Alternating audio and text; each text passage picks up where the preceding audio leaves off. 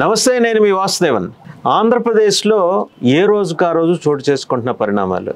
ఈయనేమో ఏడు లిస్టులు రెడీ చేశారు వాళ్ళు ఒక్క లిస్టు కూడా రెడీ చేయలేదని చెప్పేసి జగన్మోహన్ రెడ్డి గారి చుట్టూ రాజకీయం నడుపుతున్నారు. సరే తెలుగుదేశం జనసేన కూడా బహుశా రథసప్తమి నాడు మొదటి లిస్టు అఫీషియల్గా అనౌన్స్ చేయబోతున్నాను ఆల్రెడీ వాళ్ళ గ్రూప్స్లో సర్క్యులేట్ అవుతున్నదే అధికారికంగా ప్రకటిస్తున్నాను. చంద్రబాబు గారికి ఇదివరకు లేని నమ్మకాలన్నీ ఇప్పుడు కొత్తగా వచ్చేస్తున్నాయి. యజ్ఞాలు యాగాలు హోమాలు అలాగే ముహూర్తాలు ఇవన్నీ. సరే ఎవరి నమ్మకాలు వారివి. మొత్తంగా ఆంధ్రప్రదేశ్ ప్రస్తుత రాజకీయ పరిణామాల మీద సమగ్రంగా విశ్లేషించడానికి మనతో ఉన్నారు press academy AP press academy పూర్వ chairman senior journalist Kommineni Srinivasarao గారు. నమస్తే కొమ్మినేని గారు. నమస్కారం. మీరు అక్కడి నుంచే వచ్చారు ఆంధ్రప్రదేశ్ నుంచి వచ్చారు కాబట్టి మీరు you you know better and you can analyse better. సిద్ధం సభ తర్వాత ఒక మొమెంటం వైసీపీలో అందుకుందని అర్థమవుతుంది సార్. అంతకుముందు అంటే ఇన్ఫ్యాక్ట్ చాలా పొలిటికల్ కారిడార్స్ నుంచి చూసే విశ్లేషకులు కానీ పండిట్స్ కానీ వాళ్ళు అన్నది ఏంటంటే అబ్బే లేదు జగన్మోహన్ రెడ్డి ఈసారి క్యారెట్ చేశాడు అని. వేరే సిద్ధం సభతోటి వచ్చిన అపూర్వమైన స్పందనతోటి మళ్ళీ ఒక కైండ్ ఆఫ్ కాన్ఫిడెన్స్ ఇంబైవ్ అయింది క్యాడర్స్లో నిజమేనా? అంటే ఖచ్చితంగా మీరు భీమ్లీ సభ చాలా బాగా సక్సెస్ అయింది. ఆ తర్వాత ఏలూరు దగ్గర దెందులూరు సభ ఆశ్చర్యకరమైన రీతిలో అసలు ఎన్ని లక్షల మంది వచ్చారో తెలియని రీతిలో జనం వచ్చారు. కార్యకర్తలపై కార్యకర్తల సభ యాక్చువల్గా చెప్పాలంటే. అది. హైవే అంతా కూడా జనంతో కిక్కిరిసిపోయింది. అటు హనుమాన్ జంక్షన్ వరకు ఇటు చాలా దూరం రెండో వైపు రాజమండ్రి వైపు కొంత మరి బహుశా భీమడోల వైపు ఎక్కడ ఎక్కడ దాకా నాకు ఆగిపోయిందో తెలియదు. కానీ మొత్తం మీద ట్రాఫిక్ కూడా జామ్ అయ్యే పరిస్థితి వచ్చింది. అంటే అన్ని లక్షల మంది వచ్చారు. ఆ సందర్భంలో మీ దృష్టికి ఒక వీడియో వచ్చిందో రాలేదో తెలియదు కానీ నేను ఒకటి చూశాను. ఒక వృద్ధురాలు వేగంగా నడుచుకుంటూ వెళ్తూ ఉంటుంది. వెళ్తుంటే ఎవరో మీ కెమెరా పెట్టి ఒక ఆయన ఎవరో ఎక్కడికి వెళ్తున్నావమ్మా? అని అడుగుతుంది నేను సభకి వెళ్తున్నాను అంటది. ఎందుకంటే జగన్ జగన్ కోసం అంటది. ఎందుకు అంటే జగన్ అన్న జగను నాకు కొడుకులా అంటాడు. ఆయన గెలవాలి. అందుకోసం వెళ్తున్నానని బహుశా ఆవిడ వయసు డెబ్బై ఎనభై ఏళ్ళు ఉంటాయో. అంటే వాళ్ళల్లో సైతం ఆ రకమైనటువంటి కాన్షియస్నెస్ జగన్ గెలవటం రాష్ట్రానికి ఎంత అవసరమో అనేటువంటి భావన ఏర్పడిందంటేనే ఆ సభ సక్సెస్ అయినట్లు లెక్క. అయితే మీరు అన్నట్లు టీడీపీ వాళ్ళు లేకపోతే జనసేన వాళ్ళు ఇంకెవరన్నా కూడా వ్యతిరేక ప్రచారం చేస్తారు. సహజం వాళ్ళ ప్రయత్నం వాళ్ళు చేసుకుంటారు. వారు ఏంటంటే మౌత్ పబ్లిసిటీ ద్వారా మౌత్ టాక్ను సృష్టించి ఏదో జగన్కి వ్యతిరేకత ఉంది అని చూపించడానికి విపరీతమైన ప్రయత్నం చేస్తున్నారు. అంత సభ జరిగిన తర్వాత కూడా తెలుగుదేశం పార్టీ వాళ్ళు ఈ విషయంలో వెనక్కి తగ్గట్లేదు. ఏదో రకంగా జనాన్ని మాయ చేయాలనండి ఇది కొందరు మోసం చేయాలనొచ్చు. ఆ రకమైన ప్రయత్నం చేస్తారు. వాళ్ళ స్ట్రెంగ్తే సోషల్ మీడియాలో సోషల్ మీడియాయే కాదు. ఈనాడు ఉండే ఆంధ్రజ్యోతి ఉండే టీవీ ఫైవ్ ఉండే ఇంకా వేరు వేరు టీవీలు అన్నీ ఉన్నాయి కదా. వాళ్ళు నిత్యం నేను ఇన్నేళ్ళ నా జలనిధి అనుభవంలో ఇంత నీచంగా ఇన్ని అబద్ధాలు ఈనాడు పత్రిక రాసిందని నేను ఊహించలే. సరే ఆంధ్రజ్యోతి రాధాకృష్ణ అంటే ఆయన కథ వేరు. ఆయన ఎట్లాగో ఆ చంద్రబాబుకి ఆయనకి పెద్ద తేడా లేదు కాబట్టి మనం కానీ రామోజీరావు గారు మనబోటి వాళ్ళందరికీ నీతులు చెప్పి పత్రిక ఎట్లా నడపాలి జర్నలిస్టులు ఎలా ఉండాలి ఇట్లాంటి నీతులు చెప్పిన సెట్ ఆఫ్ ప్రిన్సిపల్స్ ఆయన క్రియేట్ చేశాడు ఏ మాట ఆ మాట దాన్ని ఇప్పుడు మొత్తం రివర్స్ చేస్తున్నాడు కదా. రివర్స్ చేసి నడి రోడ్డు మీద రాధాకృష్ణతో పాటు ఈయన కూడా నగ్నంగా నిలబడటానికి సిగ్గుపట్టంలో అది నాకు బాధ కలిగింది అంటే ఒక డౌట్ సార్ నిజంగా ఆయన దృష్టిలో ఉండే జరుగుతుందా లేకపోతే వాళ్ళ అబ్బాయి ఆధ్వర్యంలో మనకైతే మనకి వివరం మనకి నేను ఎప్పుడు ఆ సమాచారం తెలుసుకునే ప్రయత్నం చేయాల? ఫస్ట్ అయితే ఆయనే బాధ్యుడు అవుతాడు. ఆయనకి తెలియకుండా జరిగితే కొడుకు బాధ్యుడు అవుతాడు కిరణ్ గారు.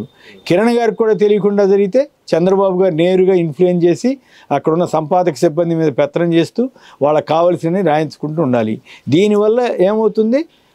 పత్రిక పూర్తిగా ఆ, అప్రదిష్ట ఉంది. జనంలో నవ్వుల పాలవుతూ ఉంది. చివరికి ఉచితంగా ఇచ్చినా కూడా తీసుకోము అనేటువంటి పరిస్థితికి చాలామంది వెళ్తున్నారు. ఇదంతా ఎందుకు తెచ్చుకోవాలి? ఒకప్పుడు ఈనాడు అంటే చదువుదాము బాగానే ఉంటుంది అని అనుకునే దశ నుంచి ఇప్పుడు ఈనాడా? వద్దు. వాళ్ళు మరీ. ఏడాదిన్నర అబద్ధాలు రాస్తున్నారనే పరిస్థితి తెచ్చుకున్నారు. అందువల్ల అందువల్లే మీకు మీరు అన్నట్టుగా ఆ ప్ర ఆ మౌత్ టాక్ అనండి మీడియా టాక్ అనండి ఆ రకంగా సృష్టిస్తున్నారు ఏడాదిన్నర పైన మీరు ప్రెస్ అకాడమీ చైర్మన్గా బాధ్యతలు నిర్వహించారు. చాలా జిల్లాలు తిరిగారు. నిజంగా ఇప్పుడు అంటే మేమంటే హైదరాబాద్లో కూర్చుంటున్నాం మాకు పెద్దగా నాలెడ్జ్ లేదు. అంత వ్యతిరేకత ఉందా సార్ జగన్మోహన్ రెడ్డి మీద? వ్యతిరేకత ఉన్నట్లు నాకైతే కనపడలా. ఒకటి అయితే అసలు వ్యతిరేకత ఉండకుండా ఉంటుందంటే ఎంతో కొంత ఉంటుంది. ఏ గవర్నమెంట్ మీదైనా ఉంటుంది. బేసిక్గా మీరు ఒకటి అర్థం చేసుకోవాల్సింది ఏంటంటే తెలుగుదేశంకి గత ఎన్నికల్లో నలభై శాతం ఓట్లు వచ్చినాయి. నలభై శాతం అంటే నలభై శాతం కాదు తగ్గిన పే- తగ్గితే ముప్పై ఐదు అన్న ఉంటుంది కదా ముప్పై ఐదు ముప్పై ఉంటుంది కదా. లేదు పెరిగితే ఇంకోటి రెండు శాతం ఉంటే ఉండొచ్చు కదా. పవన్ కళ్యాణ్ ఇవన్నీ కలిసిన తర్వాత అయితే ఇక్కడ పాయింట్ ఏంటంటే మనం మాట్లాడే వాళ్ళని బట్టి మనం ప్రశ్నించే వాళ్ళని బట్టి కూడా ఈ విషయాలన్నీ తెలుస్తూ ఉంటాయి. కానీ నేను కొన్ని చోట్ల అబ్జర్వ్ చేసింది ఏంటంటే గతసారి ఎన్నికల్లో వైసీపీకి మద్దతు ఇచ్చిన వారిలో ఇప్పుడు ఎవరైనా మారారా అని వెరిఫై చేస్తే నాకు దాదాపు కనపడలేదు. ఆచ- ఆసక్తికరంగా నన్నే కొంతమంది వైసీపీ అభిమానులు కానీ లేదా బాగా గట్టిగా మద్దతు ఇచ్చేవాళ్ళు కానీ నాకు ఫోన్ చేసి ఏం సార్ ఎంత ప్రచారం జరుగుతోంది? ఏమిటి నిజంగా జగన్ గారికి అంత వ్యతిరేకత ఉందా? లేదా గవర్నమెంట్ రాదా? ఇట్లా అడుగుతుంటారు. అడిగినప్పుడు నేను నవ్వుతూ ఒక మాట అంట మీరు గతంలో వైసీపీకి మద్దతు ఇచ్చారు. ఇచ్చారు కదా? ఇచ్చాను. మీరు ఇప్పుడు మారారా? మారలేదు. అట్లాగే మీలాగానే గతంలో మద్దతు ఇచ్చి ఇప్పుడు మారిన వాళ్ళు ఎంతమంది ఉన్నారో మీరు మీ చుట్టుపక్కల ఎంక్వైరీ చేయండి. అప్పుడు దాన్ని బట్టి ఒక అవగాహన రండి. ఈ ఈనాడు ఆంధ్రజ్యోతి రాసే అబద్ధాలు లేకపోతే మౌత్ టాక్ ద్వారా చేసే ఇవన్నీ విన్యాసాలు జరుగుతూనే ఉంటాయి. ఇవన్నీ వచ్చే రెండు నెలలు ఇంకా తీవ్రంగా జరుగుతాయి. కాబట్టి మీరు మారలేదు. మీకు పక్కన ఉన్నవాడు మారలేదు. సో అంటే జగన్ గారికి ఓటేస్తాను అనుకున్నవాడు గతసారికి ఇప్పటికీ ఏం తేడా లేదు. ఆయన అప్పుడు ఏమన్నాడో ఇప్పుడు చేసి చూపించాడు. మీరు గమనిస్తే నేను నాబోటి వాళ్ళు. జగన్ రావాలని ఎందుకు కోరుకుంటున్నాం అంటే కోరుకుంటున్నాను. దాంట్లో ఏ అనుమానం లేదు వస్తాడని నమ్ముతున్నాను. ఎందుకు కోరుకుంటున్నామని మీరు అడగచ్చు. నేను రాష్ట్రం అంతా తిరిగానని మీరే చెప్పారు కదా తిరిగిన మాట వాస్తవం.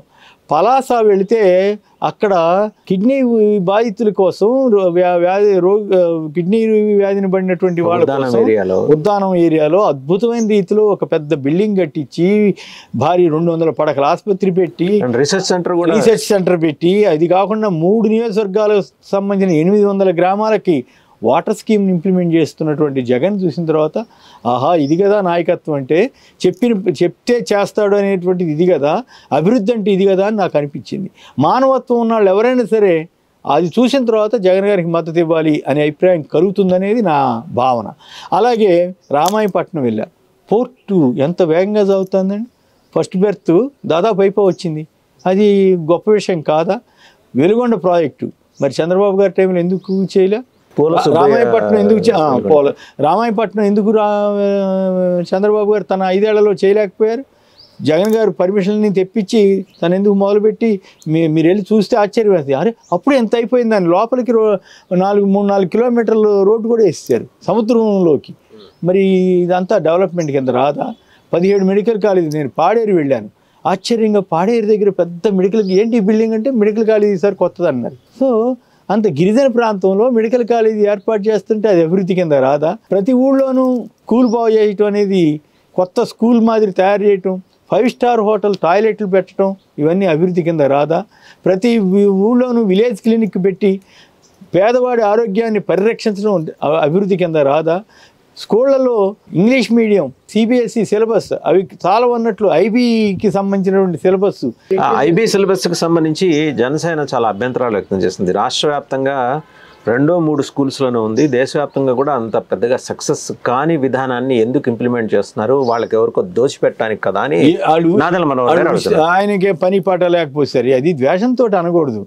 కొత్త సిలబస్ కొత్త విధానం రావటం వల్ల మన పిల్లలు అంతర్జాతీయ ఫోకస్ పొందుతారు కదా. అంతర్జాతీయ స్థాయిలో వాళ్ళకు గుర్తింపు వస్తుంది. వాళ్ళు కొంత స్టేజ్ వచ్చిన తర్వాతే కానీ ఇప్పుడు ఇప్పుడు పెట్టట్లేదు కదా. వాళ్ళందరికీ స్టూ టీచర్లందరికీ ట్రైనింగ్ ఇచ్చి ఇవన్నీ ఇచ్చి. ఇవేంటంటే ద్వేషంతో వ్యతిరేకించే వాళ్ళు ఎప్పుడు ఉంటారు. ఇంగ్లీష్ మీడియాన్ని ఎందుకు వ్యతిరేకించారు చెప్పమనండి? నాదేళ్ళ మనోహర్ ఇంగ్లీష్ మీడియంలో చదివాడా? తెలుగు మీడియంలో చదివాడా? ఇది ఒక్కటి దానికి సమాధానం చెప్పమనండి. పవన్ కళ్యాణ్ గారు సరే ఆయన ఏం చదివాడు? ఆయన టెన్త్ అంటాడు ఇంటర్ అంటాడు ఏదో గోల ఆయన ఇంగ్లీష్ మీడియం తెలుగు మీడియం అని మనం అడగక్కర్లా. ఆయన పిల్లలు ఎక్కడ చదివారు ఎక్కడ చదువుతున్నారో అడగండి. చంద్రబాబు గారి కొడుకు చంద్రబాబు గారు కూడా? ఎంఏ ఎకనామిక్స్ ఇంగ్లీష్లో ఇంగ్లీష్ మీడియంలో చేశారు ఆయన. ఎవరు? చంద్రబాబు గారు. చంద్రబాబు గారు సరే చంద్రబాబు గారి టైంలో తెలుగు మీడియం కూడా ఉండొచ్చు ఆ రోజుల్లో ఇంగ్లీష్ మీడియం వస్తాయో లేదు. మేమంతా కూడా. నాకంటే ఒక నేను చంద్రబాబు గారు ఇప్పుడు తెలుగు మీడియం తెలుగు మీడియం అని ఇంగ్లీష్ మీడియాన్ని వ్యతిరేకిస్తూ పేదవాళ్ళకి వచ్చేటువంటి దాన్ని వ్యతిరేకిస్తున్నాడు కదా. వ్యతిరేకించేవాడు తన మనవాడిని ఎందుకు ఇంగ్లీష్లో మీడియంలో చదివిస్తాడు? మొన్న చీఫ్ జస్టిస్ ఎన్వి రమణ గారు కూడా అట్లా మాట్లాడటం నాకు బాధ అనిపించింది. ఆ స్థాయికి వెళ్ళి మీ కోర్టులో ఇంగ్లీష్ తప్ప తెలుగు ఏమైనా మాట్లాడుతున్నారా? లాయర్లు వచ్చి సిద్ధార్థ లోత్రా తెలుగుదేశం తరఫున వచ్చి ఇంగ్లీష్లో మాట్లాడా తెలుగులో మాట్లాడా ఇంగ్లీష్ ఆబ్వియస్లీ ఎవరైనా పోనీ గవర్నమెంట్ తరఫున మాట్లాడిన వాళ్ళు తెలుగులో మాట్లాడారా ఇంగ్లీష్ మాట్లాడారా? అలాంటి వాళ్ళకి తెలుగు ఇంగ్లీష్ నేర్చుకోవద్దని ఇంగ్లీష్ మీడియమే అక్కర్లేదని చెప్తే నేను ఇంగ్లీష్లో ఎందుకు వీక్ అయ్యానో నాకు తెలుసు. నాకు కూడా చిన్నప్పటి నుంచి ఇంగ్లీష్ మీడియం కూడా ఉంటే అట్లా అని చెప్పి తెలుగుని విస్మరించమని మేము ఎవరని చెప్పాం. తెలుగు ఉండాల్సిందే. కానీ ఇది హిపోక్రసీ ఏమిటంటే వాళ్ళేమో వాళ్ళ పిల్లల్ని వాళ్ళ మనవళ్ళని అందరినీ ఇంగ్లీష్లో చదివిస్తారు పెద్ద పెద్ద ఇంటర్నేషనల్ కాన్వెంట్లో చదివిస్తారు. మరి పవన్ కళ్యాణ్ గారు ఓక్రిడ్జ్ స్కూల్లో తన పిల్లల్ని ఎందుకు చేర్చారు? ఇంటర్నేషనల్ స్కూల్ కదా. అక్కడ ఇంటర్నేషనల్ స్థాయి సిలబస్లు ఉంటాయి కదా. అదే సిలబస్ పేదవాడికి స్కూల్లో పెడుతుంటే వీళ్ళకేంటి అవి నొప్పి? వీళ్ళకేంటి అభ్యంతరం? ఇప్పుడు దాన్ని క్రమవిప్పి పెట్టండి వాళ్ళకి నాలెడ్జ్ పెంచేటట్టు పెట్టండి అని చెప్పండి తప్పులేదు కానీ అసలు వ్యతిరేకించడం అంటే అది కేవలం అభివృద్ధి నిరోధకం పేదలకు వ్యతిరేకం అని నేనైతే సరే ఇంత ఇదంతా బ్యాడ్ ప్రాపగండా అంటున్నారు మీరు. But as to how YSRCP ఎందుకని దీన్ని అడ్రస్ చేయలేకపోతే? ఇంత ప్రాపగండా నడుస్తోంది. ఎందుకు అడ్రస్ చేయట్లేదు? ఇప్పుడు ఇక్కడ కూర్చున్న మా ఓటర్లు కూడా అక్కడ జరుగుతున్న ప్రచారం నిజం అనుకుంటున్నాం మీరు అనుకోవచ్చు నేనేం కాదు ప్రచారం నిజం అనుకుంటున్నాం అవును మీరు నేను ఇక్కడ హైదరాబాద్లో కూర్చుని నిజం అనుకోవచ్చు నాకేం అభ్యంతరం లేదు. మీరు అక్కడికి స్కూల్కి వెళ్ళి ఆ పిల్లవాడిని అడగండి ఆ పిల్లవాడి తల్లిదండ్రులను అడగండి. సార్ రెండు స్కూల్స్ నేను విజిట్ చేశా.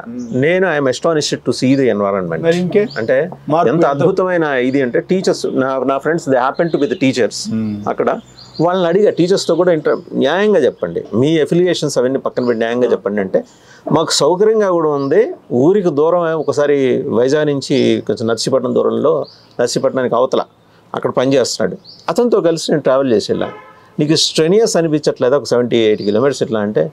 But I'm happy with my school premises అని చెప్తున్నాడు. అట్మాస్ఫియర్ బాగుంది. ఒకవేళ మాకు బస్సు దొరకకపోయినా ఇక్కడ మేము ఉండటానికి అవకాశం ఉంది. నా వరకు నా ఇంకా నలుగురు ఐదు టీచర్స్ మాట్లాడారు. మా వరకు అయితే మేము హ్యాపీ అండి. నేను నేను ఒక్కడ మాత్రం జీతాలు అందుతున్నాయా అని అడిగా. ఎందుకు అందట్లేదు? అందుతున్నాయండి అని మరి ఈ ప్రచారం కానీ ఏంటంటే దుష్ప్రచారం ఎంత ఈ ఇప్పుడు కొంతమంది ఈ పని చేయమంటే కొంచెం ఇబ్బంది పడే సంఘాల నాయకులు ఉంటారు. సరే ఎస్పెషల్లీ సిపిఐ సిపిఎం బ్యాచ్ ఉంటారు కదా. వాళ్ళు నిజానికి వాళ్ళు జగన్ గారికి పూర్తి స్థాయిలో మద్దతు ఇవ్వాలి. పేదలకు ఉపయోగపడే ఎడ్యుకేషన్ తీసుకొస్తుంటే వాళ్ళు వ్యతిరేకిస్తారా? ఎంతకంటే దౌర్భాగ్యం ఉందండి పేదలకు ఇళ్ళ స్థలాలు ఇస్తుంటే సిపిఐ రామకృష్ణ గారు దానికి వ్యతిరేకంగా మాట్లాడతాడా? ఎంతకంటే అప్రతిష్ట ఇంకేం- sir I have a question do you still believe that communist parties are still relevant in Andhra Pradesh అది వాజ్పేయి గారు నా బాగా గుర్తు పంతొమ్మిది వందల ఎనభైలో విజయవాడ వచ్చాడు. విజయవాడ వచ్చినప్పుడు ప్రెస్ క్లబ్లో ఆయన గెట్ టుగెదర్ జరుగుతుంది కదా జరిగింది. మీట్ ది ప్రెస్ జరిగితే ఎవరో నేను ఎవరో అడిగాం. కమ్యూనిజం కమ్యూనిస్ట్ పార్టీ గురించి అంటే ఇది రెలవెంట్ టుడే అన్నాడు. ఎప్పుడు? నేను చెప్పాను ఎనభై- నలభై ఏళ్ళ క్రితం. ముప్పై నలభై ఏళ్ళ క్రితం. So it is outdated party అని ఆయన ఆ రోజుల్లోనే చెప్పాడు. కాబట్టి అవుట్డేటెడా కాదా? సరే ఏది రాజకీయ పార్టీ అని తన సిద్ధాంతాన్ని చెప్పుకోవచ్చు ఏదో తను చేయొచ్చు. ఇక్కడ పాయింట్ ఏంటంటే చైనాలో వీళ్ళు అనుసరించే కమ్యూనిజం అనుసరించే విధానాలు కానీ మరి ఇక్కడికి వచ్చేసరికి సి కమ్యూనిస్టుల పార్టీ చెప్పే సూత్రాలు కానీ ఇవన్నీ చూస్తే పరస్పర విరుద్ధంగా ఉంటాయి. చైనా బికమ్ క్యాపిటలిస్ట్ మరి ఎందుకైంది మరి? మరి ఆ, ఇక్కడ ఇప్పుడు కమ్యూనిస్టులు ఇక్కడ చెప్పే కబుర్లు ఏంటి? అసలు వీళ్ళు పేదలకు అనుకూలంగా ఉండాలా అక్కర్లేదా? ఉండాలి నిజంగా కమ్యూని ఇప్పుడు ప్రస్తుతం ఉన్న సిపిఐ సిపిఎంలో కమ్యూ నిజమైన కమ్యూనిస్టులు అయి ఉంటే సర్వ సామాన్య ప్రజలంతా అందరూ సమానం అనేటువంటి భావన సిపిఐ సిపిఎంలో ఉన్నట్లయితే ఈరోజు జగన్ గారు చేస్తున్న సంస్కరణల్ని మద్దతు మద్దతు ఇవ్వాలి శభాష్ అనాలి. అది చేయకపోగా ఆయన మీద వీళ్ళు ఈ ఉద్యోగ సంఘాలని తర్వాత మన చూడండి అంగన్వాడీలని ఎంత దుర్మార్గం ఉండేది. సిపిఐ సిపిఎంలు ఆంధ్రప్రదేశ్కి తెలుగుదేశం జనసేనలతో పాటు కేవలం ఒక దు- దుర్మార్గ ప్రచారాన్ని చేస్తూ అప్రతిష్ట పాలయ్యాయి. ఇక ఆంధ్రజ్యోతి ఈనాడు ఉండనే ఉన్నాయి. వాళ్ళు విష ప్రచార విషం చెమ్మడం తప్ప ఇంకోటి చెమ్మట్ల సో అందువల్ల మీలాంటి వాళ్ళు కూడా అలాంటి ప్రభావానికి గురై అనుమానం వచ్చేలాగా ఉంది. కానీ వాటిని ఎంజాయ్ చేసేవాళ్ళు.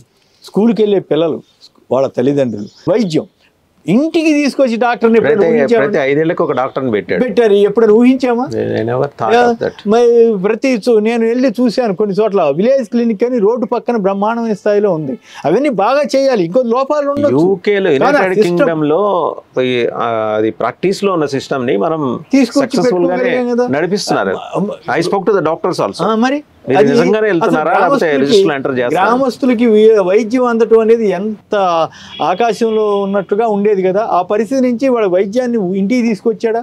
వృద్ధులకు పెన్షన్ ఇచ్చేటువంటి సదుపాయం ఆంధ్రప్రదేశ్లో తప్ప ప్రపంచంలో ఎక్కడైనా ఉందా? వృద్ధుల్ని గౌరవించే సమాజం ఆంధ్రప్రదేశ్లో అది కూడా ముఖ్యమంత్రి జగన్మోహన్ రెడ్డి గారి ప్రభుత్వంలో మాత్రమే జరుగుతోంది. వృద్ధుల్ని గౌరవించే సమాజం అంటే ఎంత గొప్ప విషయం అండి? వాలంటీర్ల వ్యవస్థను తీసుకొచ్చి తెల్లారేసరికి ఫస్ట్ తారీఖు వస్తే తెల్లారేసరికి ఇస్తే ఇతర రోజుల్లో ఎన్ని కిలోమీటర్లు వెళ్ళి గంటలు గంటలు క్యూలో నిలబడి నానా పాటలు పడిన వృద్ధులు ఈరోజు ఎంతో సగౌరవంగా చాలా గౌరవంగా తీసుకుంటున్నారని అందుకే వాళ్ళకి జగన్ మా పెద్ద కొడుకు అని చెప్పే పరిస్థితికి వెళ్ళారంటే అది కారణం. గ్రామ వార్డు సచివాలయాలు. అవన్నీ వాలంటీర్లు తీసుకొచ్చి నాకు సత్యారావు గారిని సిపిఆర్ఓగా పనిచేసి ప్రెస్ అకాడమీ కూడా కొంతకాలం చైర్మన్గా కూడా చేశారు. ఆయన మొన్న ఈ మధ్య శ్రీకాకుళం వెళ్ళారట. శ్రీకాకుళం వెళ్తే ఆయన ఆయన స్వస్థ స్వస్థలం. అక్కడ వాళ్ళ పాపకి అమెరికాలో గ్రీన్ కార్డు కోసం డేట్ ఆఫ్ బర్త్ సర్టిఫికేట్ అవసరమైందట. ఒక వాలంటీర్కి చెప్తే చెప్పి అప్లికేషన్ ఇచ్చారట. ఆయన వారం పడద్దు అనుకుంటాడు బహుశా. సాయంత్రానికల్లా డేట్ ఆఫ్ బర్త్ సర్టిఫికేట్ తీసుకొచ్చి ఇచ్చేస్తే ఆశ్చర్యపోవటం ఈయన వంతైందట మనం ఎప్పుడైనా ఊహించామా date of birth certificate caste certificate income certificate వీటన్నిటి కోసం ఎన్ని రోజులు తిరగాల్సి వచ్చేదో ముందు మున్సబ్ దగ్గరికి తర్వాత కరెం- ఆ, తర్వాత. ఆర్ఐ దగ్గరికి ఇట్లా ఎంత. చివరికి ఎప్పుడుకో పది రోజులకో నెల రోజులకో వచ్చేది అట్లాంటిది ఒక రోజులో ఇంటికి తీసుకొచ్చి సర్టిఫికేట్ ఇస్తున్నాం జగన్మోహన్ రెడ్డి గ్రాఫ్ నలభై ఆరు సీట్ల దగ్గర ఆగిపోతుంది అని దగ్గర దగ్గర పది పదిహేను రకాల సర్వేలు అవి లెక్కలతో సహా వస్తున్నాయి. మీరు చెప్పేది తప్పు. పది పదిహేను. సర్వేలు పది పదిహేను సర్వేలు జగన్ గారి ప్రభుత్వం వస్తుందని వచ్చిన ఉదాహరణ పాతిక సర్వేలు జగన్కి సపోర్ట్ ఉన్నాయి చెప్తున్నా. ఓకే ఇక్కడ పాయింట్ ఏంటంటే లేటెస్ట్ ఇది సీ వాటర్ సర్వే వాళ్ళ క్రెడెన్షియల్స్ ఏమిటి? వాళ్ళు రెండు వేల పంతొమ్మిదిలో సైతం తెలుగుదేశం గెలుస్తుందని ఇచ్చారు. తొంభై నుంచి వంద సీట్లు. మరి ఎవరు గెలిచారు? నూట యాభై ఒక్క సీట్లతో ప్రబంధం సృష్టించాడు జగన్. అలాగే మొన్న మధ్యప్రదేశ్లో కాంగ్రెస్ గెలుస్తుందని ఇచ్చారు. బీజేపీ గెలిచి ఛత్తీస్గఢ్ ఆల్సో ఛత్తీస్గఢ్లో కాంగ్రెస్ గెలుస్తుందని ఇస్తే బీజేపీ రాజస్థాన్. వీళ్ళు ఇంతే కాదు చంద్రబాబు గారితోటి వీళ్ళకున్న సంబంధం ఏం పాడో లేదు వాళ్ళ సరైన అవగాహన సరైన నెట్వర్క్ లేదు ఏం పాడో కానీ రెండు వేల నాలుగులో నాకు బాగా గుర్తు. ఎలక్షన్ అయిపోయిన తర్వాత అప్పటికే టాకు ఆ, జనరల్గా అర్థమవుద్ది కదా ఎలక్షన్ అయిపోయిన తర్వాత ఎగ్జిట్ పోల్స్ ఇవన్నీ ద్వారా మా వాళ్ళందరికీ కాంగ్రెస్ మమ్మల్ని ఎవరిని అడిగినా కాంగ్రెస్ వస్తుందని అప్పట్లో కొత్తగా టీవీ నైన్ వచ్చింది. వస్తే నన్ను పిలిచి ఇన్వైట్ చేసి దాని మీద విశ్లేషణ అడిగితే Congress is going to win అని చెప్పేశారు. చెప్తే ఆశ్చర్యపోయారు. ఏంటి ఎంత ఓపెన్గా చెబుతున్నారు? ఎస్ నా నమ్మకం ఇది నాకు నాకేమి ఆళ్ళు గెలుస్తున్నా వీళ్ళు గెలుస్తున్నా it makes no difference for me but వాతావరణం జన అభిప్రాయం ప్రకారం అయితే కాంగ్రెస్ గెలుస్తుంది. రాజశేఖర రెడ్డి ముఖ్యమంత్రి అవుతారు అని చెప్పారు. చెప్తే కొందరి కోపం కూడా వచ్చింది టీడీపీ వాళ్ళకి. ఆ రోజున సీ వాటర్ సర్వేకి సంబంధించిన వ్యక్తిని తీసుకొచ్చి హోటల్లో కూర్చోబెట్టి హోటల్లో ఆయనకు అనుకూలమైనటువంటి మీడియా ఉంటుంది కదా వాళ్ళందరినీ తీసుకెళ్ళి తెలుగుదేశం గెల గెలవబోతోందని సీఓ సర్వే ఇప్పించారు. చివరికి ఏమైంది? రాజశేఖర రెడ్డి గారు గెలిచారు. సో అయితే అట్లా అని చెప్పి అన్ని సర్వేలు తప్పు అవుతాయని అంటలా నాకు అర్థమైంది ఏంటంటే ప్రీ పోల్ సర్వేల్లో ఒక రకమైన అభిప్రాయం రావచ్చు. కానీ ఎగ్జిట్ పోల్స్లో ఎక్కువ సర్వేలు ఎవరికి అనుకూలం ఉంటే వాళ్ళు మెజారిటీ వస్తుందేమో అనేటువంటి ఒక అభిప్రాయం ఉంది. వాటిలో కూడా తప్పులు జరిగిన సందర్భాలు ఉన్నాయి. నేను కాదనట్లేదు. కొంత బెటర్ అవుద్దేమో ఇప్పుడు శాంపిలింగ్ వచ్చేప్పటికి సార్ ఇండియా టుడే తీసుకుంది ముప్పై ఎనిమిది వేల శాంపిల్స్ అండ్ రైజ్ అనే సంస్థ తీసుకుంది లక్ష ఎనభై తొమ్మిది వేలు తీసుకుంది. తీసుకుంటే రైస్ సంస్థ ఇచ్చిన సర్వేలో జనసేన తెలుగుదేశం కూటమికి తొంభై నాలుగు వైఎస్ఆర్సీపీకి నలభై ఆరు neck to neck thirty five వచ్చింది. కానీ అవి కూడా కలుపుకున్న జగన్మోహన్ రెడ్డి గారికి ఎనభై ఒకటే వస్తాయి. అయ్యో మరి అవన్నీ నేను నమ్మను. నేనైతే వైఎస్ఆర్ కాంగ్రెస్ గ- ఖచ్చితంగా గెలుస్తుందని నేను నమ్ముతున్నాను. ఎరేనా ఇండియా వాళ్ళు ఎనభై ఎనిమిది వేల మందిని చేశారు. ఎనభై ఎనిమిది వేల మంది చేస్తే నూట పద్దెనిమిదో ఎన్నో వస్తాయని వాళ్ళు లెక్క తేల్చారు. కాబట్టి అసలు బేసిక్గా ఏంటంటే రాయలసీమలో రాయలసీమ నాలుగు జిల్లాలు ఒంగోలు వచ్చేసరికి వాళ్ళకి వైసీపీకి యాభై నుంచి అరవై సీట్లు వచ్చే అవకాశం ఈజీగా ఉంది. ఆ స్థాయిలో వస్తే కనుక గవర్నమెంట్ వచ్చేసినట్లే. బట్ గుంటూరు కృష్ణ అండ్ గోదావరి అవి కూడా బాగానే ఉన్నాయి. ఉదాహరణకి మొన్న నిన్న ఎవరో చెప్పారు ఫ్రెండ్ ఒక ప్రముఖ సర్వే సంస్థకు వెస్ట్ ఉభయ గోదావరి జిల్లాల్లో పద్దెనిమిది సీట్లలో సర్వే చేస్తే పన్నెండు చోట్ల వైసీపీ ఆధిక్యత కనపడుతోందంట. సో దానికి Out of 18 sir. Out of eighteen so ఇవన్నీ నమ్ నమ్మటం నమ్మకపోవటం అనేది మీ ఇష్టం. నేను నాకేం అభ్యంతరం లేదు. నేను నమ్మే నమ్ము నేను నమ్ముతాను మీరు నమ్మే మీరు నమ్మండి. ఇవన్నీ కూడా ప్రజల యొక్క భావజాలాన్ని మార్పు చేయడానికి చేసే ప్రయత్నాల్లో భాగమని ఎవరైనా కూడా మరి అది వైసీపీకి వర్తించాడు వర్తిస్తుంది. కానీ ఓవరాల్గా మనకి ఇన్ని హామీలు నెరవేర్చిన తర్వాత ఇన్ని పనులు చేసిన తర్వాత జగన్ గారికి వ్యతిరేకంగా ఓటు వస్తుందా అనేది నాకు సందేహం. ఓటు రాకూడదు రాకూడదు వస్తే గనక అలాంటివి జరిగితే ఇక ఎవడు హామీలు నెరవేర్చక్కర్లా. తొంభై తొమ్మిది శాతం హామీలు నెరవేర్చిన వాడికి ఓటేయకపోతే ఇంక నీకెందుకు? ఇంకే ఇంకెందుకు గవర్నమెంట్ రేపు? నేను సరదాగా అడుగుతుంటా. కొంతమందిని జగన్ గారికి బటన్ నొక్కుడే కదా బోర్డు ఖర్చు పెట్టేశాడు అని అంటారు. ఓకే కరెక్టే మీరు అభ్యంతరం చేయడం తప్పులేదు. మరి ఇప్పుడు అంతకంటే నాలుగు రెట్లో ఐదు రెట్లో మూడు రెట్లో ఖర్చు పెడతాను నేను బటన్ నొక్కుతాను అంటున్నాడు కదా నాలుగు అప్పుడు. ఆ? నాలుగు బట్టలు పెడతారు నాలుగు రెట్లు. చంద్రబాబు గారు అంటున్నాడు కదా మరి ఎట్లా సపోర్ట్ చేస్తావయ్యా? మరి అది ఇంకా ఎక్కువ ప్రమాదం కదా. దానికంటే జగన్ గారిదే తక్కువ ప్రమాదం కదా. మీ మీ భాషలో చెప్పాలంటే అది పేదలకు వాడటం పేదలకు ఉపయోగపడటం అది వేరే విషయం. అంటే అంటే అతను ఏమన్నాడు తెలుసా వాళ్ళు? చంద్రబాబు ఇస్తాడు కానీ ఏం చేయడుగా సార్. అంటాడు. అంటే చంద్రబాబు మోసం చేస్తాడని తెలిసే నువ్వు ఓటేస్తున్నావు. అక్కడే మీరు అర్థం చేసుకోవాల్సింది ఏంటంటే ధనిక వర్గాలు పెత్తందారి వర్గాలు చంద్రబాబుకు మద్దతుగా నిలుస్తున్నాయి. పేద వర్గాలు ప్రత్యేకించి బలహీన వర్గాలు ఎస్సీ ఎస్టీ బీసీ మైనారిటీ వర్గాలన్నీ ఏకోన్ముఖంగా జగన్ గారికి మద్దతిస్తున్నాయి. అది ఆయనకున్న బలం. అందుకే ఆయన పేదలు పెత్తందారులు అన్న కాన్సెప్ట్ని తీసుకొచ్చాడు. ఆ దిశలో ముందుకు వెళ్తే ఈ పేదలు ఎవరు మీ బోటి పెత్తందారు దగ్గర మీ మీవంటే. మీరని కాదు. మీలాంటి వాళ్ళ దగ్గర మాట్లాడలేరు. సైలెంట్ మెజారిటీ అంటారు. మీకు ఇంకో ఎగ్జాంపుల్ చెప్తా. పంతొమ్మిది డెబ్బై ఎనిమిదిలో ఇందిరాగాంధీ గారు కొత్తగా పార్టీ పెట్టారు. పార్టీ పెట్టి అంటే కాంగ్రెస్ నుంచి చీలిపోయారు కదా ఆవిడని బహిష్కరించడం చాలా కథలు జరిగినాయండి.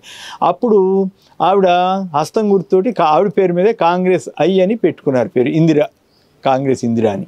పెట్టుకుని ఇక్కడ ఏపీలో కర్ణాటకలోనూ పోటీ చేశారు. పోటీ చేస్తే ఆవిడకి క్యాండిడేట్లు కూడా సరిగ్గా దొరకలేదు ఫర్ ఇన్ఫర్మేషన్ మీరు నమ్మండి నమ్మకపోండి. ఎవరు అప్లై చేస్తే వాళ్ళకి ఇచ్చారు. ఉదాహరణకి తిరువూరులో ఒక లారీ డ్రైవర్కి ఇచ్చారు. మీరు నమ్ నమ్ముతారో లేదో నాకు తెలియదు కానీ ఒక్కలగడ్డ ఆదాం గారని ఒక లారీ డ్రైవర్ ఆయనకు కూడా తెలియదు ఆయనకి టికెట్ వస్తుంది ఊరికే ఎవరైనా చెప్తే రాశారు. ఆయన ఏమీ అంతకుముందు నాయకుడు కాదు. ఏమీ కాదు. ఎందుకంటే అంతకుముందు రెండు మూడు రోజుల ముందు కూడా మా ఊరు గన్నవరం వచ్చి అక్కడ లారీ నడుపుకుంటా ఆయన హోటల్లో భోంచేసి వెళ్ళాడని కూడా నాకు తర్వాత వాళ్ళు ఆ హోటల్ వాళ్ళు చెప్పారు. ఆయన టికెట్ ఆయన వెళ్తే అప్లై చేస్తే ఇచ్చేశారు టికెట్. కానీ అది రిజర్వ్డ్ నియోజకవర్గం. ఇచ్చేస్తే ఆయన బంపర్ మెజార్టీతో గెలిచాడు. ఎందుకు మీద గెలిచారు? మీరు ఆ రోజున అంతా ఎవరు గెలుస్తారు అనుకున్నారు జనతా పార్టీ గెలుస్తుంది అనుకున్నారు ఇప్పుడు కా- అప్పట్లో కాంగ్రెస్లో ఉన్న పెద్ద పెద్ద వాళ్ళు పిడతల రంగారెడ్డి గాదే వెంకటరెడ్డి ఇంకా పేర్లని గుడి గబాలను గుర్తురావు కానీ అయ్యప్పరెడ్డి ఇట్లా చాలామంది జనతా పార్టీకి వెళ్ళిపోయారు. ఇంకేముంది? జనతా పార్టీ వచ్చేస్తుంది అనుకున్నారు తీరా వస్తే అరవై సీట్ల దగ్గర ఆగిపోయింది. Congress R. అప్పుడులో జలగం వెంగళరావు గారు కా ఇందిరాగాంధీని చీలిపోయి రెడ్డి కాంగ్రెస్ తరఫున ఆయన ముఖ్యమంత్రిగా కూడా కొనసాగారు. అదెవరు సార్? రెడ్డి కాంగ్రెస్ కాసు బ్రహ్మానంద బ్రహ్మానంద రెడ్డి గారు. బ్రహ్మానంద రెడ్డి ఏఐసిసి అధ్యక్షుడిగా ఇక ఇందిరాగాంధీని బహిష్కరించింది ఆయనే. ఆ తర్వాత ఆయన వచ్చి మళ్ళీ కాంగ్రెస్ ఏలో చేరిపోయారు. అది వేరే కథ. సో ఇందిరాగాంధీ గారు మళ్ళీ ఆవిడకి ఏదో ఆయనకి ఏదో పదవి ఇచ్చారు. అదంతా వేరే చర్చ అనుకోండి. ఇక్కడ వాళ్ళంతా వాళ్ళకి ముప్పై సీట్లు వచ్చినాయి. అధికారంలో ఉన్న కాంగ్రెస్ ఆర్కే ముప్పై సీట్లు. కొత్తగా వచ్చినటువంటి అంటే కేంద్రంలో అధికారంలో ఉన్న జనతా పార్టీకి అరవై సీట్లు అసలు సోదిలో ఉండదు ఉనికే ఉండదు అనుకున్నటువంటి అసలు ప్రచారంలో లేని ఇందిరా కాంగ్రెస్ నూట ఎనభై సీట్లతో గెలిచింది. చెన్నారెడ్డి? గారు అప్పుడు పీసీసీ ప్రెసిడెంట్ ఆయన ముఖ్యమంత్రి అయిపోయాడు. అంటే ఆయన గమనించాడు ఆయన ఆయన బెరీజు వేసుకున్నాడు. వాళ్ళందరికంటే ఇది బెటర్ ఇది కొత్త పార్టీ కదా? ఇందిరాగాంధీ గారి వెంగళరావు కాంగ్రెస్ వెంగళరావు నిజానికి వెంగళరావు గారు కాంగ్రెస్ ఐలో ఉండాలి ఉండాలి. ఆయన కాంగ్రెస్ ఆరికి వెళ్ళి దెబ్బతిన్నాడు. ఇవి చెన్నారెడ్డి గారు అప్పుడే మళ్ళీ గవర్నర్ పదవి మానుకుని వచ్చాడు ఏదో జరిగింది. ఆ, జనతా పార్టీ వచ్చిన తర్వాత అంతకుముందు కొంతకాలం ఉత్తరప్రదేశ్ గవర్నర్ కానీ ఇట్లా ఉండేవాడు కదా. సో అట్లా అప్పుడు సైలెంట్ మెజార్టీ అప్పుడు ఎవ్వరు కాంగ్రెస్ వస్తుందని అనుకోలే. సో అది ఎందుకు కారణం ఏంటంటే ఇందిరాగాంధీ పేద వర్గాలకు ఇచ్చినటువంటి సదుపాయాలనండి మొట్టమొదటిసారిగా బ్యాంకులకు తీసుకెళ్ళిన ఘనత ఆవిడిది. అట్లాగే గేదెలు అని అవి అని ఇవని రకరకాల స్కీముల్ని పేదల కోసం ఇంప్లిమెంట్ చేసింది. దాంతో వాళ్ళందరిలోనూ ఒక అభిప్రాయం ఏర్పడింది. ఈవిడ మన మన కోసం ఆలోచించే నాయకురాలనే అభిప్రాయం ఏర్పడింది.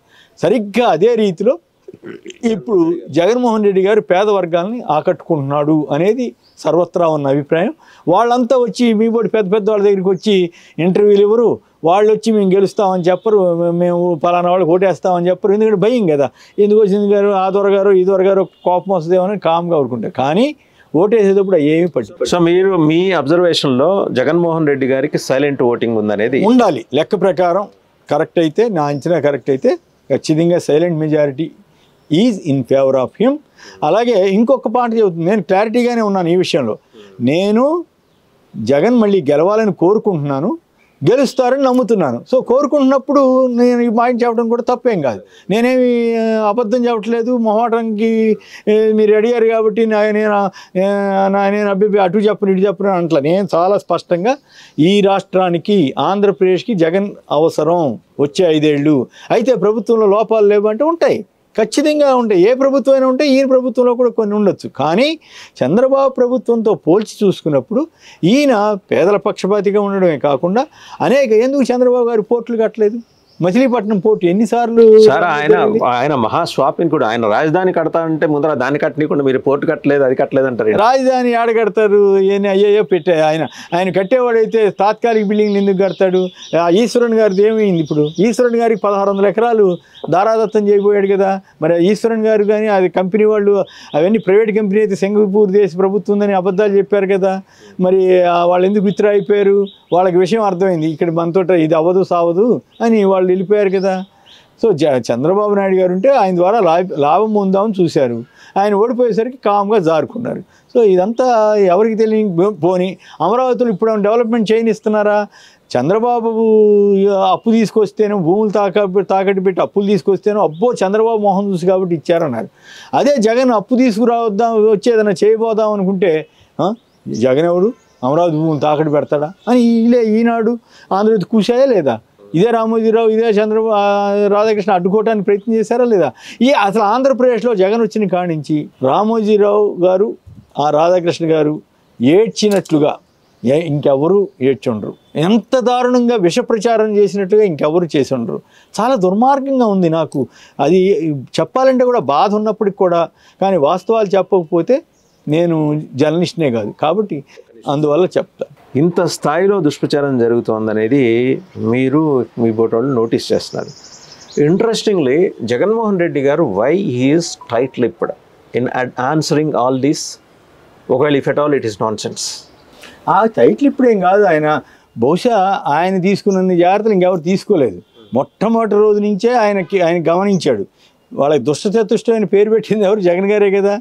ఈనాడు ఆంధ్రజ్యోతి వాళ్ళు దుష్ట చతుష్టయంగా ఆంధ్రప్రదేశ్ ప్రజలపైన పడి విష ప్రచారం చేస్తున్నారు. నమ్మొద్దని ఆయన ఆ రోజు నుంచి చెప్పాడు కాబట్టి ఈరోజు నిలబడి నిలబడగలిగి ఉన్నాడు. లేకపోతే ఈ పాటికి ఎప్పుడో దెబ్బతిని ఉండేవాడు. అట్లాగే ఆయన స్కీములు అమలు చేశాడు కాబట్టి నిలబడి ఉన్నాడు. అమలు చేయకపోతే ఈ పాటికి చంద్రబాబు కంటే ఘోరమైన పరిస్థితిలో ఉండేవాడు. ఎందుకంటే మోసం చేశారని వీళ్ళే ప్రచారం చేస్తుంటారు. ఇంత చేసిన తర్వాత కూడా వాళ్ళు మో అబద్ధ ప్రచారాలు చేస్తున్నారు కదా. ఒకవేళ చేయకపోతే ఇంకేముంది? చంద్రబాబుని ఇట్లా అన్నాడు ఈయన ఎంతకంటే పెద్ద మోసగాడని అప్పుడు ప్రచారం చేశాడు ఆయన వాటిని నిలబెట్టుకున్నాడు కాబట్టి వాటిలో ఏదో ఒకటి ఎతికి కింద మీద బట్టి రాయాల్సి వస్తూ ఉంది. అది వాస్తవాలతో సంబంధం లేకుండా అబద్ధాలు రాస్తున్నారంటే దానికి కారణం జగన్ గారు హామీలను నెరవేర్చాడు.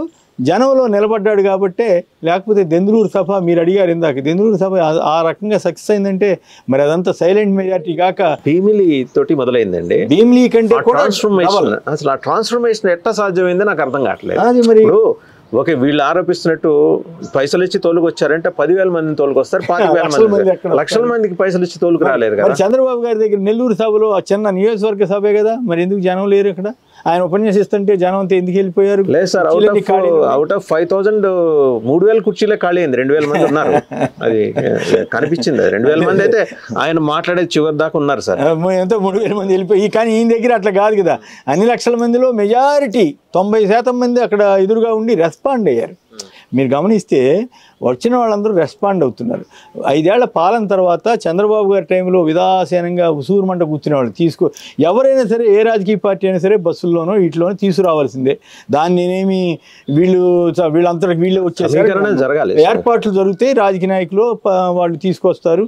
వాళ్ళ బస్సుల్లో అట్లా తీసుకొస్తారు. వాళ్ళైనా వీళ్ళైనా. కానీ వచ్చిన జనం స్వచ్ఛందంగా రెస్పాండ్ అవుతున్నారా లేదా?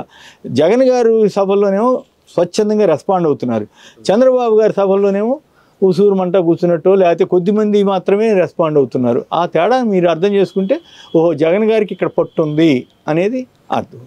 రెండో సార్ షర్మిల గారి ఫ్యాక్టర్. ఆవిడ ప్రదేశ్ కాంగ్రెస్ కమిటీ అధ్యక్షురాలిగా బాధ్యతలు తీసుకున్న తర్వాత ఆవిడ సంధిస్తున్న శరాలతోటి వైసీపీ ఉక్కిరి బిక్కిరి అవుతుందని చెప్పేసి ఆవిడ పరువు పోగొట్టుకుంటాను.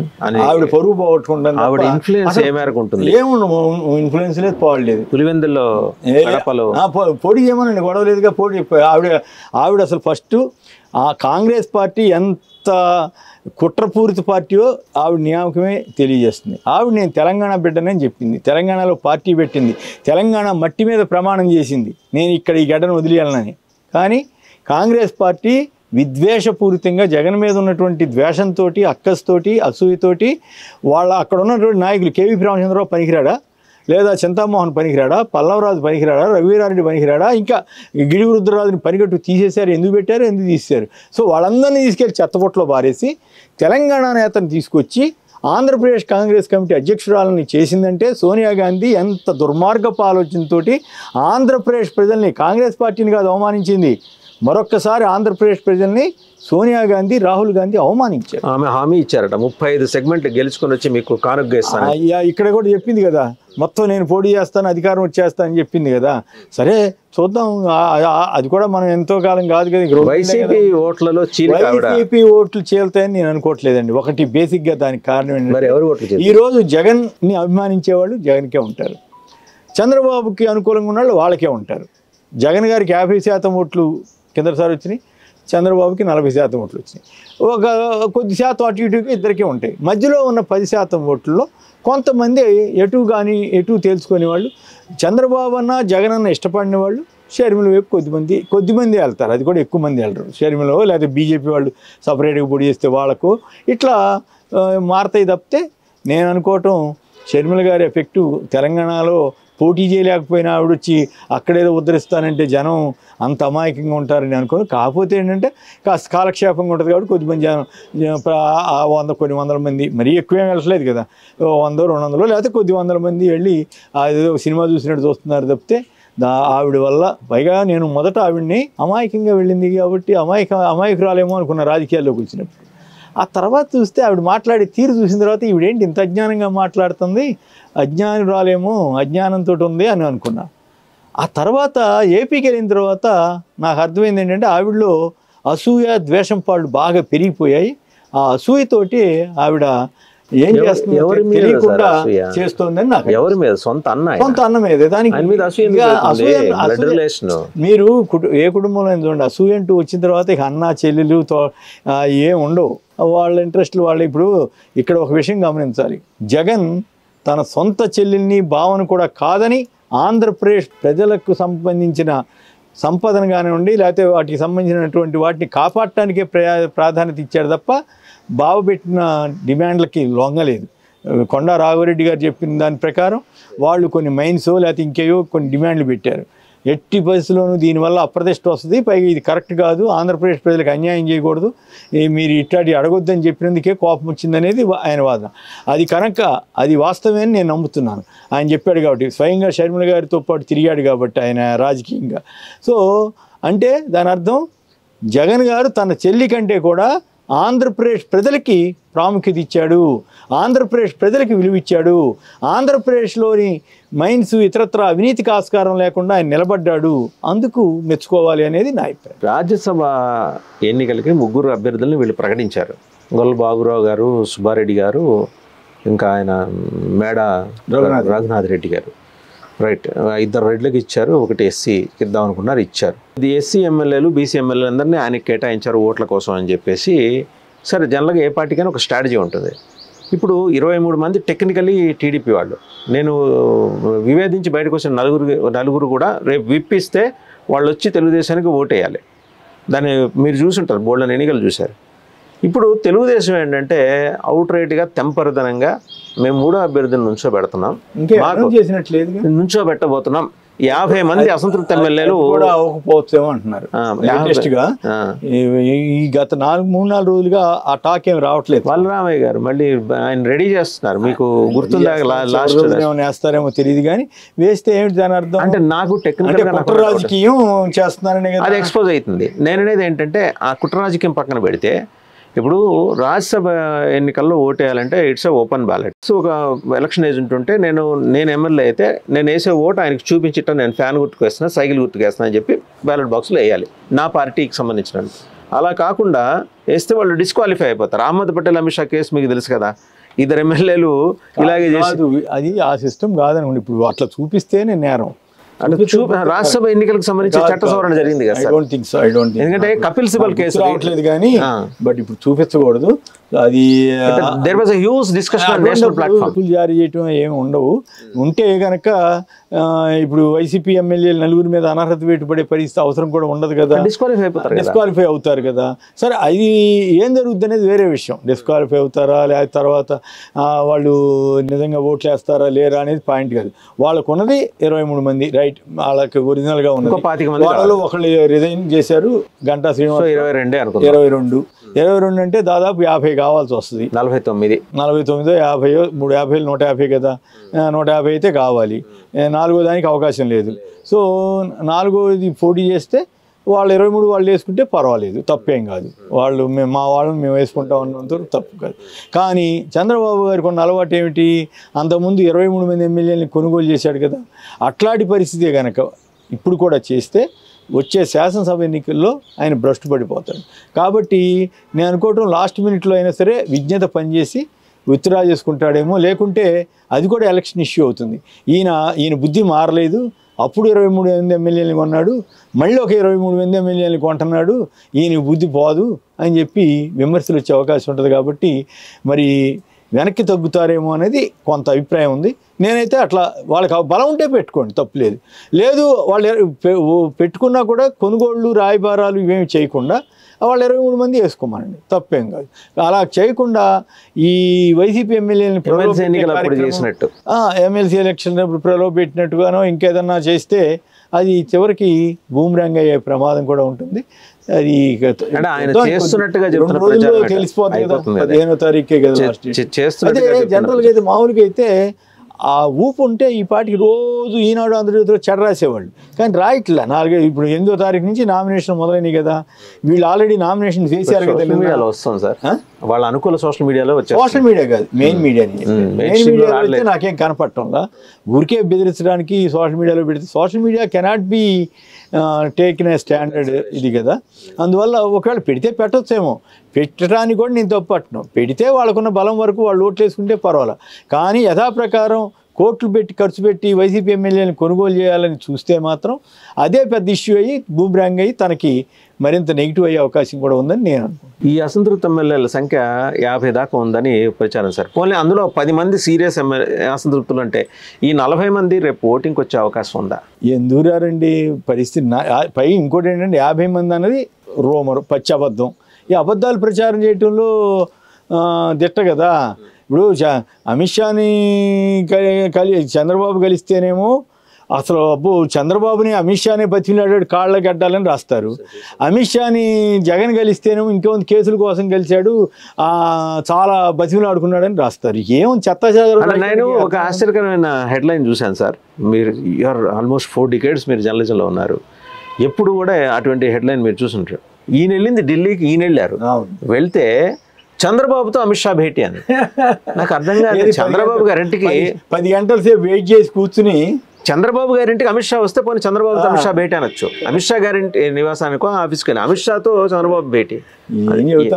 స్టాండర్డ్స్ అంటే జనం నవ్వుతారు అనే ఇంగితం కూడా.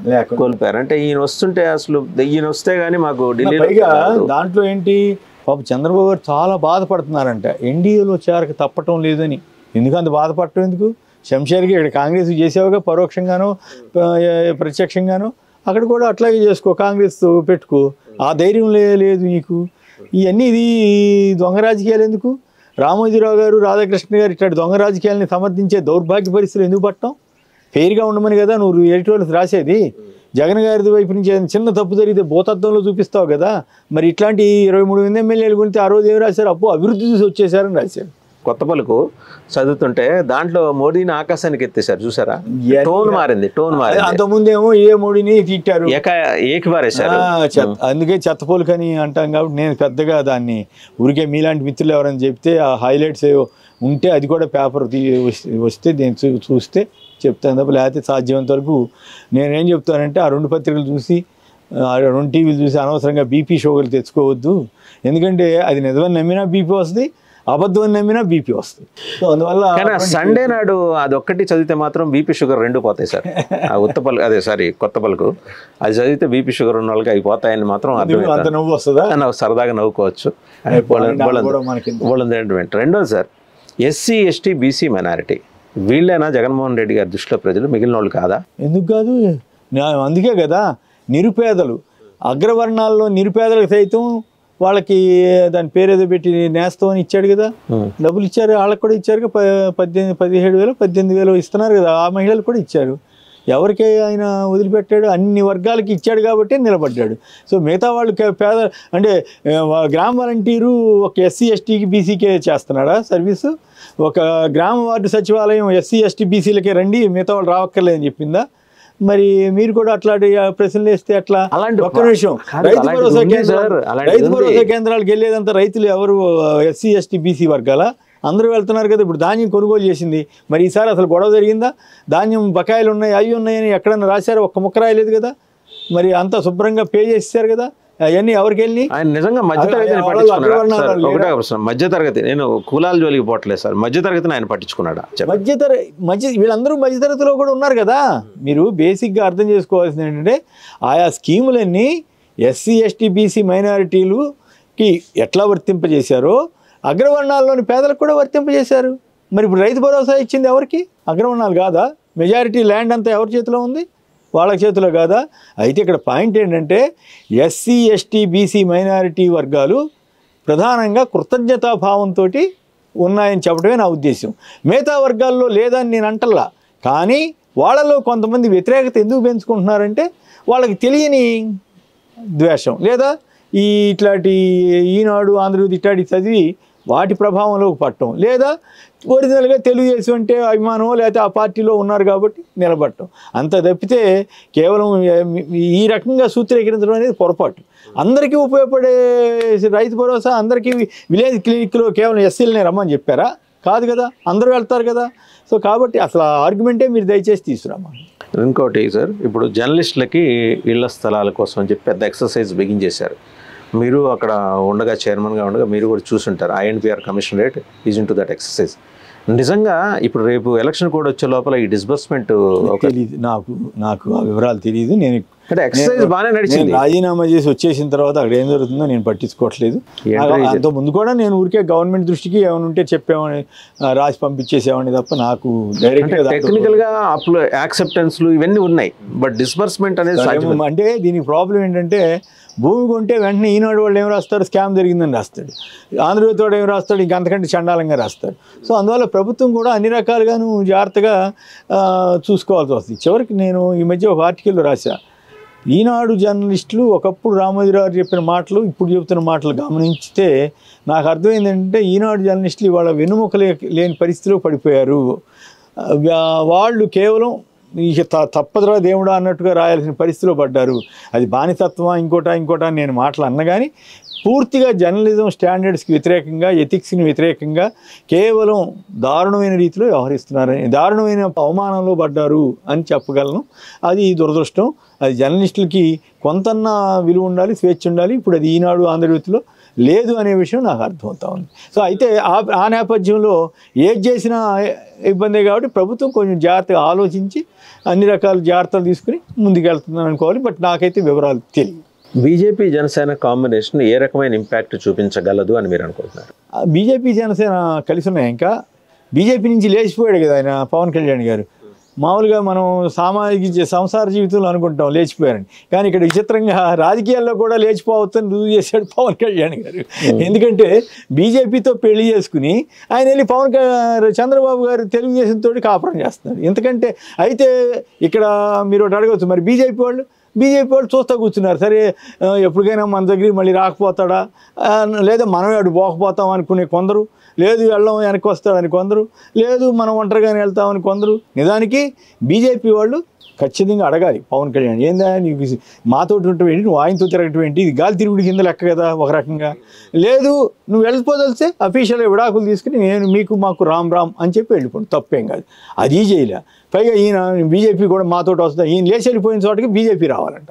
సరే రాజకీయాల్లో ఇటువంటి పట్టించుకోకపోవచ్చు సిగ్గు ఇటువంటి ఏమి ఉండవులే బిడియం ఉండవు ఆత్మగౌరవం ఇట్లాంటి ఏమి ఉండవు అంటే మనం ఏం చేయగలిగింది లేదు. తెలుగుదేశం వాళ్ళైనా సిగ్గుపడాలి కదా.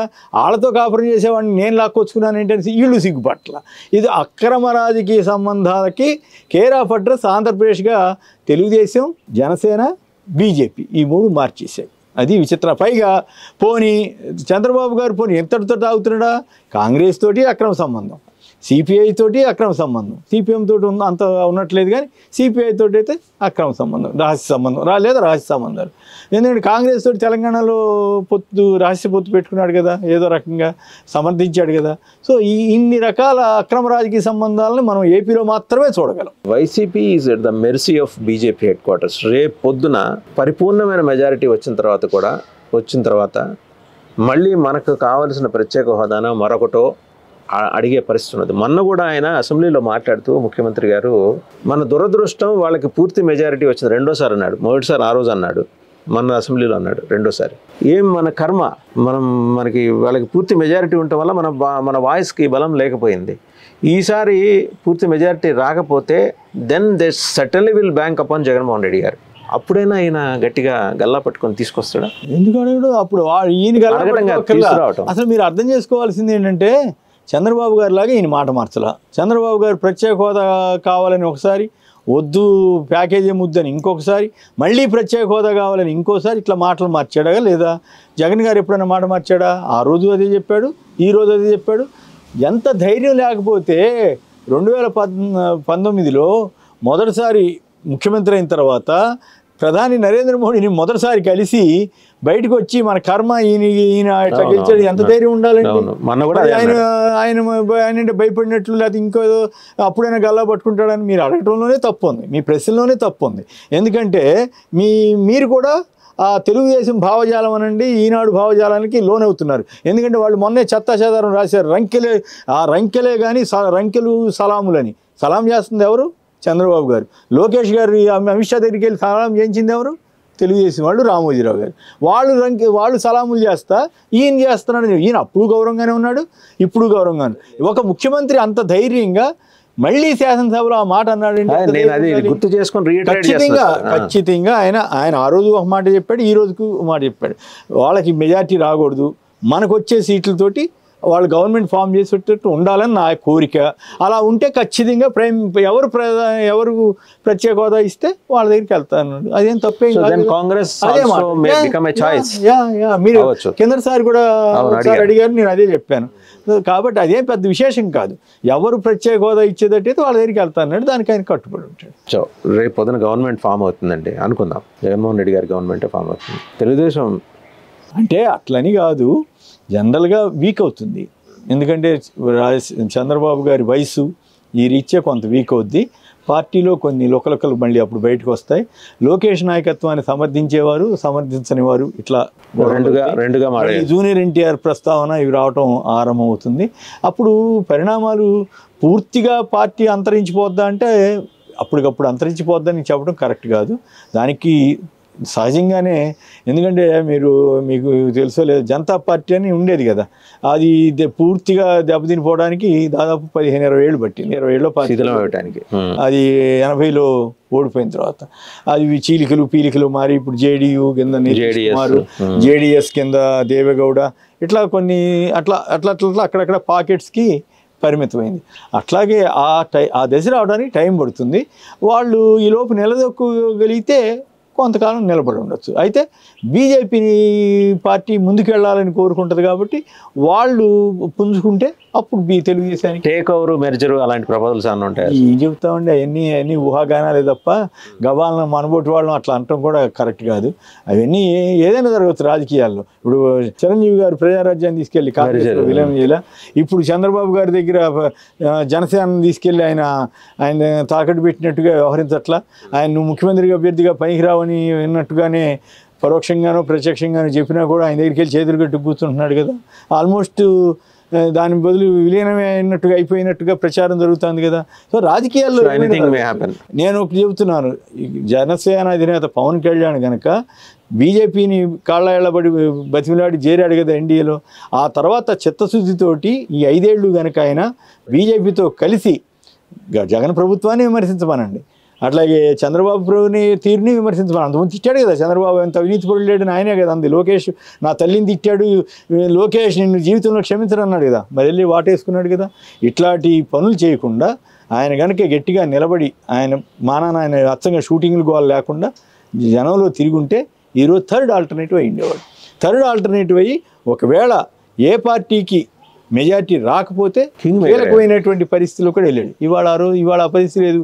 ఇవాళ చంద్రబాబు గారి దగ్గర చేతులు కట్టుకునే దుస్థితికి ఆయన దిగజారాడంటే దాని అర్థం ఆయనకి రాజకీయం తెలియదని స్వయంకృతాపరాధం లేకపోతే ఎవడైనా రాజకీయ నాయకుడు వెళ్ళి నేను నీకు పల్లకి మొత్తానని అంటాడండి? నేను ముఖ్యమంత్రి అవ్వాలని కోరుకుంటాం. నా పార్టీ విధానం ఏదో ఉంటుంది కానీ నీ పార్టీ నువ్వేం చెప్తే అది చేస్తానని చెప్తున్న ఏకైక నాయకుడు పవన్ కళ్యాణ్ గారు కదా. సో కాబట్టి అది ఆయన ఆయన బీజేపీ మరి ఈ తర్వాత ఎలక్షన్ అయిన తర్వాత ఎట్లా ఉంటారు ఏంటో? ఇవన్నీ ఇక ఊహాగానాలు తప్ప ఆ ఎలక్షన్ రిజల్ట్స్ వచ్చిన దాన్ని బట్టి కొన్ని పరిణామాలు చెప్తాం తప్ప ఇప్పుడు ఇప్పుడు చెప్పడం అనేది పద్ధతి కూడా. Right thank you sir thank you very much so Kommineni గారి విశ్లేషణ చూశారు కదా ఆంధ్రప్రదేశ్లో జగన్మోహన్ రెడ్డి తిరిగి అధికారంలోకి రావాలన్న ఆయన కోరిక ప్లస్ ఆయన నమ్మకం. వస్తారని నమ్మకం గురించి స్పష్టంగా చెప్పారు. దానికి గల రీజన్స్ కూడా చెప్పారు. జగన్మోహన్ రెడ్డి టైట్లు ఇప్పుడుగా లేరు. ప్రతి దానికి డెవలప్మెంట్ ఓరియంటేషన్ తోటి సమాధానం చెప్తున్నారు. తన పని తన చేతులతోటి సమాధానం చెప్తున్నారు.